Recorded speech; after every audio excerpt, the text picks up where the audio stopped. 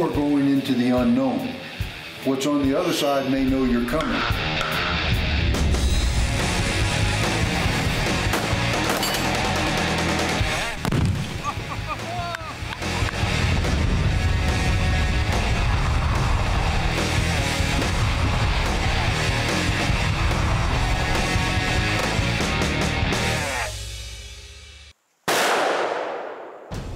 World made famous by Dirty Harry and his notorious 44 Magnum, big bore revolvers have developed their own culture and their own demands.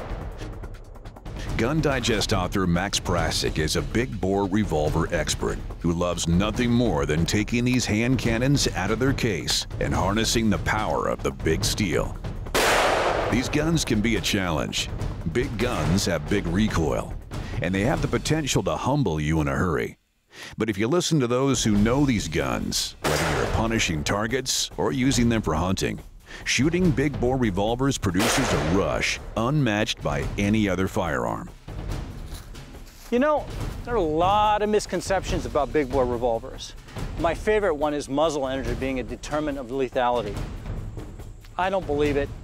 I think I've proven it time and time again, as of many other handgun hunters. And I want to look at each and every one of these guns' attributes and see how they fit your particular style of hunting or what it is you're actually planning on doing with that particular firearm. So let's go have some fun. This is the 44 Magnum.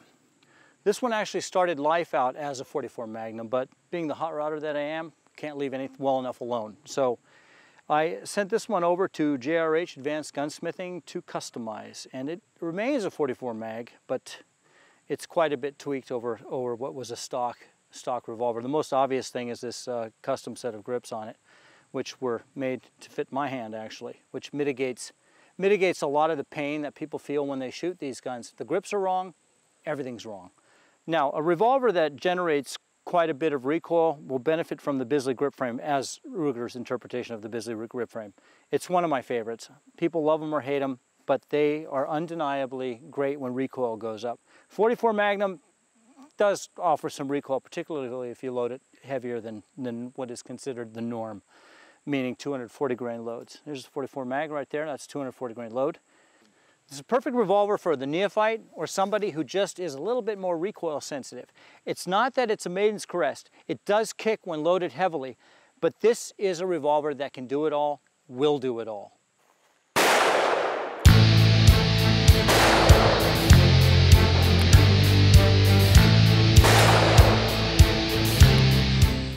This is one of my favorites. It's a Ruger Bisley, but this is a distributor exclusive by TALO. I got this one from Lipsey's. Uh, it's got a five and a half inch barrel. It's 45 Colt, as I mentioned before, six shot, Bisley grip, and this one has color case hardening by Doug Turnbull. It's beautiful, and it's quite the shooter.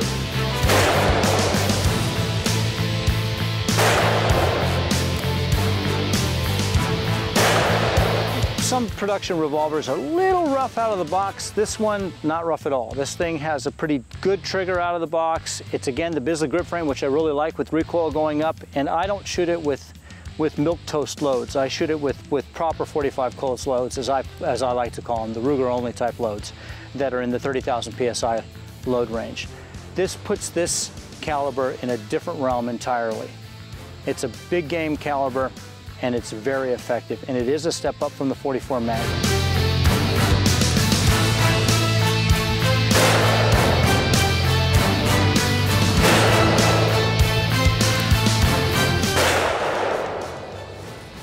While the recoil is stout, it's definitely manageable. If you can handle the 44 mag loaded to, loaded to its limits, you can definitely handle 45 Colt. Coming up next, moving up the 454 Casull. This is Modern Shooter.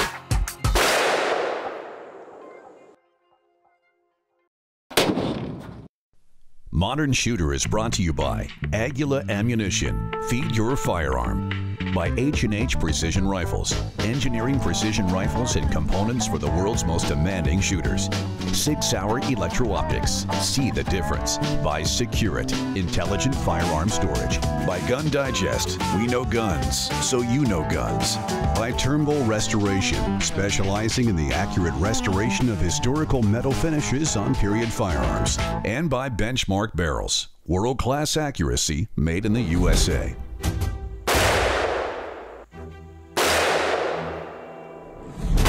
Glutton for punishment that I am, I was immediately drawn to 454 Casull when I'd read about them and the sizable recoil and the, the big game that's fallen to this particular cartridge, so I absolutely had to have one. Why? Because they kick hard. Does that make any sense? I guess in my twisted paradigm it does. I also brought along another 454 Casull, but this one's by Magnum Research. It's a BFR. These are a little bit bigger, a little beefier than all of the other single action offerings out there. But they're built like tanks. And I gotta say, out of the box, these things are really accurate. They've got a match grade barrel. This is their new Bisley grip frame. Well, it looks kind of strange, like a banana, but this is a great, great grip frame, great angle for controlling recoil, and it really does control recoil well.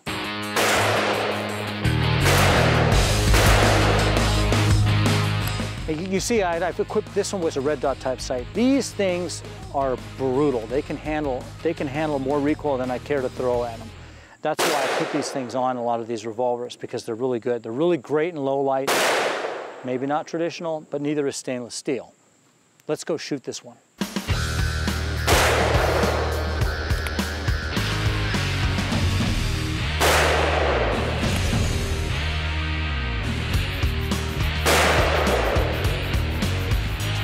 One thing you'll note, I use a lot of grip tension when I shoot these particular revolvers. A lot of people like to let them ride, let them fly. I don't like to do that. If I use a little more grip tension, my point of impact doesn't change much when I'm shooting off the bench when I'm, when I'm trying to sight in or test different loads to when I'm shooting offhand. Same grip tension, I tend to hit in the same place.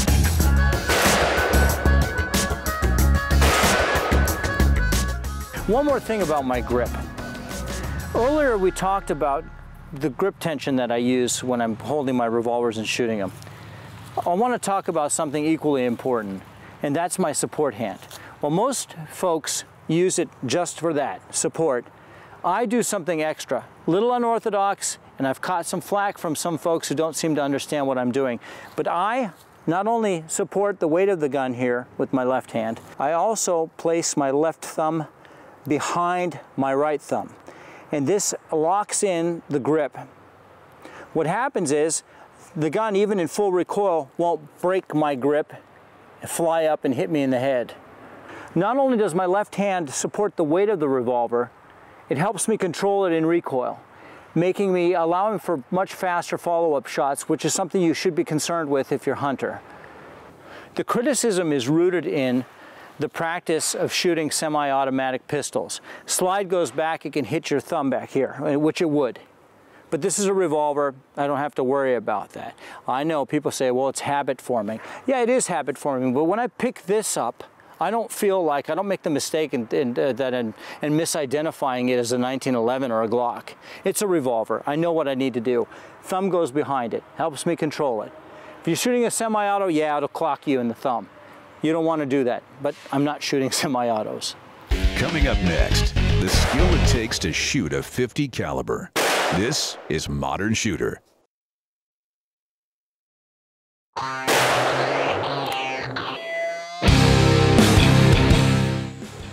Now let's get into my favorite category, the half inchers. This is a 50 caliber handgun. This is a BFR and 500 JRH. This is a cartridge that is essentially a cut down 500 Smith & Wesson from 1.6 inch case to 1.4 inch case, but with this little bit smaller rim. It is very terminally effective. This one has a five and a half inch barrel. Again, it's a match grade barrel um, with a Bisley grip frame, Magnum Research's interpretation of Bisley grip frame, and it is best thing that they've ever done as far as I'm concerned. This handles recoil really well and allows for really quick follow-up shots. And I've equipped this one with an optic red dot type sight. Let's talk recoil for a moment. this is my bench setup. This is what I test rounds for diff different loads off of. This is where I test for accuracy. This is where I sight in. This is not where you want to spend your time shooting these. If you if you do, you're just gonna you're gonna beat yourself up, and you're running a risk of actually developing a flinch from from the abuse that you're going to heap on yourself on this thing. But it's a good way just to test your your zero basically, and to test different loads. But when you're done with that, I recommend not even getting anywhere near a bench. Shoot offhand, shoot in your, in your hunting positions, your shooting positions, field positions. So that's, that's what I kind of wanted to touch upon here. And when I do this, I always use my, my Pro Aim gloves. I discovered these things uh, a number of years ago, and, and, and they, they, just, they just mitigate the damage your hands do. And I do this, I never fail to use them because you only have two of these, and they're supposed to last you a lifetime. Let's protect them when you can. And thus far, I have no problems with them, knock on wood. We've been shooting steel all day. Let's shoot something that's a little more reactive. There's a soda bottle down there. Let's see if I can hit it.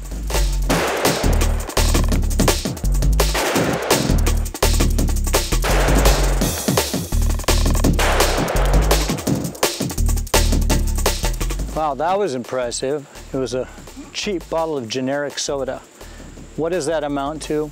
Okay, not much. It's impressive to look at. But this is the this is the gun and the caliber that I used on Cape Buffalo last May. It's very effective. Don't let the don't let the fireworks fool you into thinking it's anything less.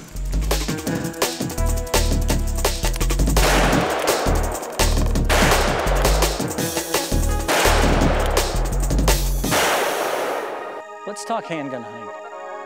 Uh, my, the indications I have are that it's gaining in popularity. The one item we have working against us is the fact that it's hard. It takes a lot of practice. Uh, when you build up uh, a level of competence with some of these heavier recoiling revolvers and you set it down for six months, it's like learning all over again. So it's hard. It's harder to hit a target with a short barrel iron sights, or even, even if you put a scope on a revolver, it's harder on a revolver. There's a long eye relief on a scope. It's just a, it's something that you're not controlling with your whole body like a rifle when you can, when you can put, the, put the stock into your, into your shoulder. So it's difficult. So you have to get closer typically, but that's what I love about it. It's the challenge. It's hard. It is hard. Not everyone can do it. And so it's something that I'm, I'm a little, it's a point of pride for me. It's the challenge that really, really attracts me to handgun hunting.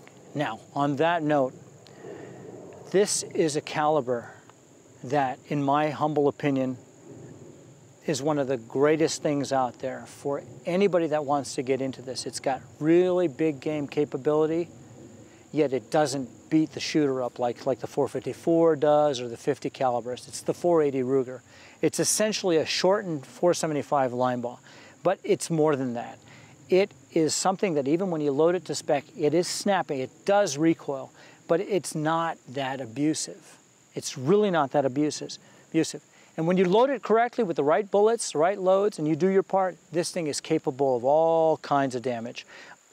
So the 480 Ruger is a great choice. It'll take big game, and I'm not talking whitetail now, I'm talking really big game, and it won't beat the bejesus out of you. Can I say bejesus? Okay. Anyhow, you can get 480 Ruger and a couple platforms from Ruger itself.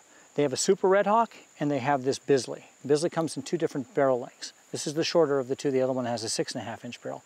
But the Super Redhawk with a seven and a half inch barrel and 40 Ruger is a dream come true as far as I'm concerned. For, for, a, for a handgun hunting uh, revolver, it's a great, great platform. Coming up next, pro shooter John Nagel and four targets in less than two seconds. You're watching Modern Shooter.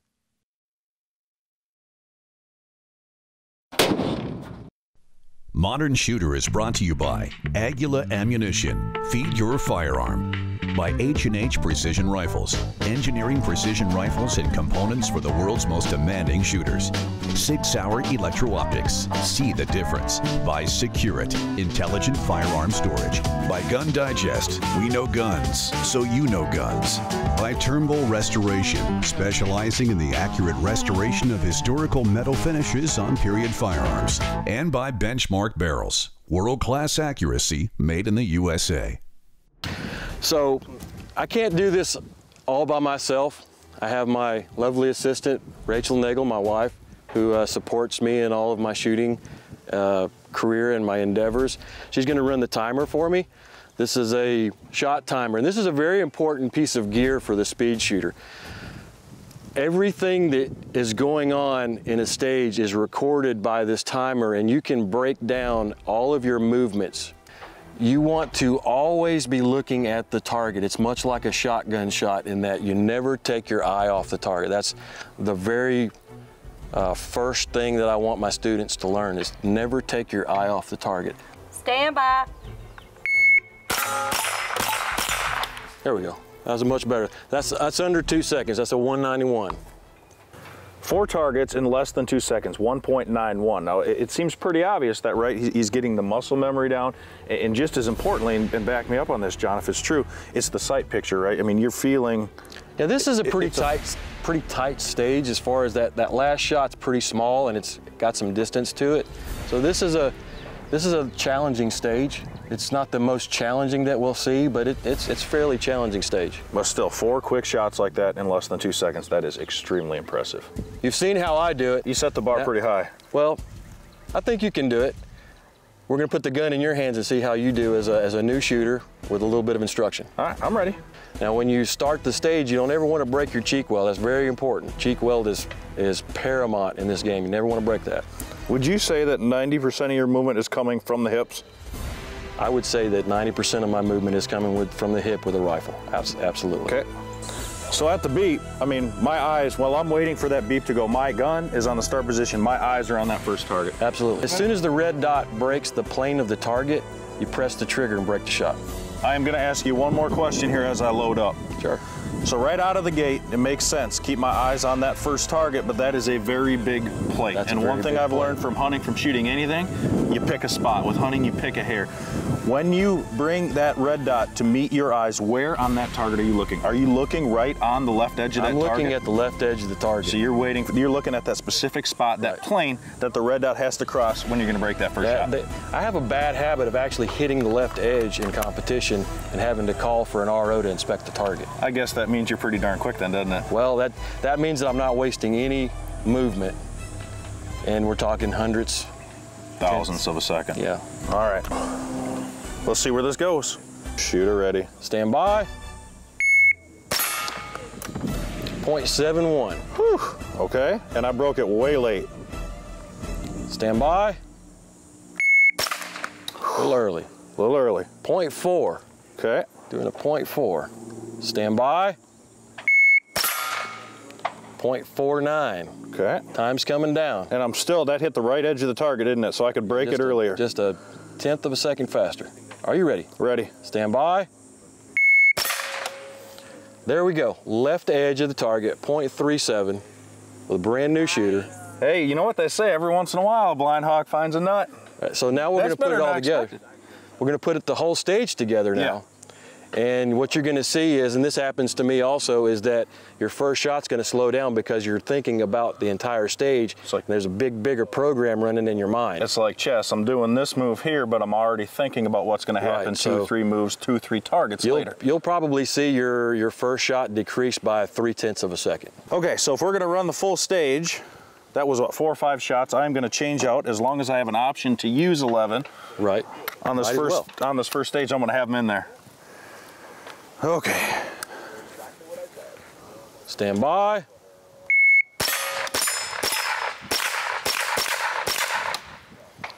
Three point five eight seconds. I couldn't hit. Did I hit the first shot? I think I missed the first shot. Missed the first two shots and you and hit, then hit on the the third. third. All right, I couldn't hear that one. I You want to shot make sure. seven times, so you're faster when you don't miss. I understand that. It's like shoot the wiggle out of them. I'm gonna have to get that out of my head. So what was the time? 3.58 seconds. With 3.58 5-1 seconds. First shot. I got a feeling I can do a lot better. What? And the first shot was 5-1. five one. You're right. I mean, you called it. It went from .39 to .51. Give me some suggestions for moving between the targets, like from the first to the second, because that felt really clunky to me. Okay, so the, I I have a technique that I like to use. It's called cut and ratchet. Okay. And what that means is you cut your eye to the target and you ratchet the gun over. Your gun's gonna naturally come to your eye, just like your first shot did. So if you'll cut your eye quickly, the eye is the fastest muscle in the body. Mm-hmm. So we use that to our advantage to get our eye on target and the gun's gonna naturally come right to where we're looking at. So it's the exact same, same technique. Exact that we same thing, you're gonna with, break right? the shot on the, now that you're moving towards the left, you're gonna break the shot on the right edge now. It's exactly the way I started with my eyes on that target. Shot Correct. breaks, eyes are moving, guns catching up. Correct. Okay. All right, John, I'm gonna run it one more time, regardless- of how it goes, and I'm just gonna slow down a little bit. Okay. Okay? I just, I feel like that I'm gonna start getting some bad habits by, I'm just gonna slow down, do it right, and see if we can hit that four target the first time around. And we have a saying in this sport, go back to the fundamentals, slow down, go faster. I like that. Let's see if it works. Stand by. Perfect. Now then we have a 268. nice. So five minutes, and we've knocked a second and a half over your, off of your overall time. And I did exactly what you suggested. Just slowed down, forgot about that darn timer, and just worked on the fundamentals. And that ratcheting, I mean, I took overall, maybe it was two tenths of a second to kind of focus on that ratcheting technique you were talking about. Eyes red dot, eyes red dot, following it through. That was the key for me. Outstanding. I'm glad we could help you out today, and we want to see you back out on the range more. Thank you. No matter what you do, stick to those fundamentals.